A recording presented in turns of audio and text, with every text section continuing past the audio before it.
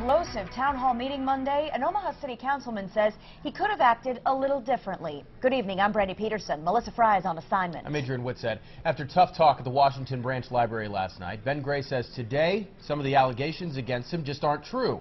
KETV News Watch 7's Alexandra Stone joins us live with the story. Alexandra? 24th Street is one of the facts Ben Gray brought up last night, listing off projects he's brought to North Omaha. Things like the Union for Contemporary Arts around this corner and Big Mama's Sandwich Shop right up the street. Now today, Gray's message is calmer, but still the same. He's doing a lot of work for his district, and places like 24th Street prove it.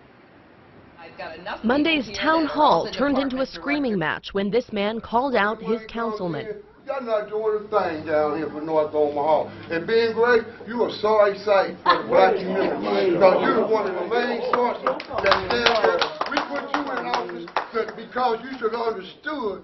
Councilman Ben Gray had this response. Walmart is not uh, nothing. North Star is not nothing. 75 North is not nothing. Fair Deal Cafe is not nothing.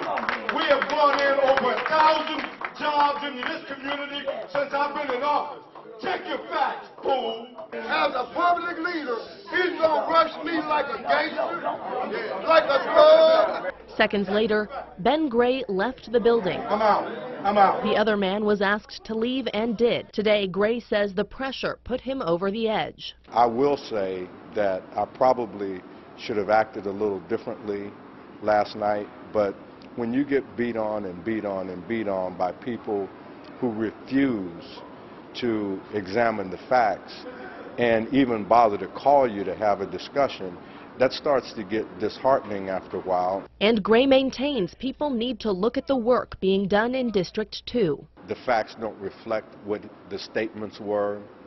Um, it was just grandstanding and stirring the pot. We'll get past this, and I will focus on continuing the work that I know needs to be done in the district. We tried to track down the man from the meeting, but no one we spoke with knew who he was. The mayor's office says they were also trying to track him down to see about the possibility of setting up a meeting since he was so upset. Now, the next town hall meeting will be at the Willa Cather Branch Library at 44th and Center. You can speak up Wednesday, October 8th, starting at 7 that night. Alexandra Stone reporting live. Thanks, Alexandra.